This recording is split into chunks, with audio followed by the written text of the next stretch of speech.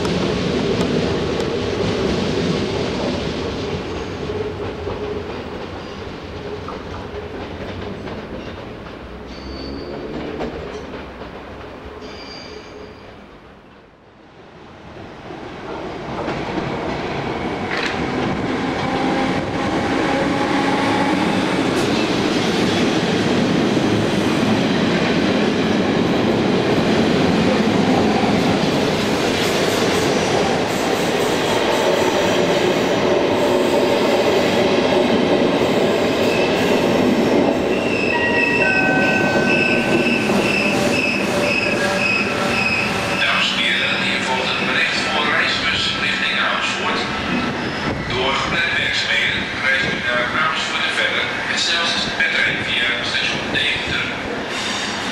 Reizigers voor de stoptrein naar Utrecht maken gebruik van de NS-bus naar het Harden. Vanaf het Harden rijden weer stoptreinen naar Utrecht. De bussen vertrekken vanaf de zuidzijde van het station. Ik herhaal. Hier volgt een bericht voor reizigers richting Amersfoort. Door geplande werkzaamheden reist u naar Amersfoort en verder. Het snelste per trein via station